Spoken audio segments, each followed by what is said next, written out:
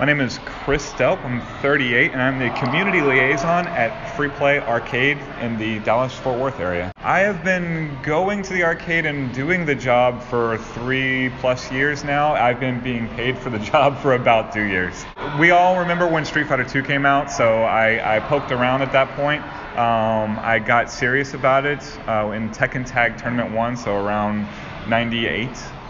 Uh, local play. The thing that makes me passionate about fighting games is local multiplayer. Um, when arcades went away, I was devastated because I like playing games with people, face to face, in person, reacting to what they do. Um, I actually started playing Magic the Gathering in the time when arcades died because I could actually sit across the table from somebody and play games. Well, with fighting games, you're going to always sit right there and have a head to head matchup. It is unlike anything else. Um, so I traveled during the Tekken Tag Tournament 1 and uh, Tekken 4 days. So I traveled all around the country at that point, hitting every major I could. Um, this was in pre-Evo days, so that's how long ago that was. So I traveled extensively then, and then um, I, since I've gotten this job, yes, I started traveling again for Super Turbo, the old man game.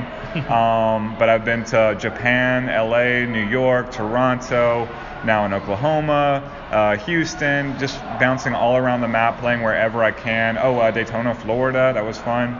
Um, yeah, anywhere I can go and play Super Turbo and, and, test my mettle and get wrecked by somebody who's just a little bit better than me, that's where I want to be. And, uh, okay, so we've recreated the arcade scene in DFW. Like, straight up, we have the biggest Super Turbo scene in the world outside of Japan.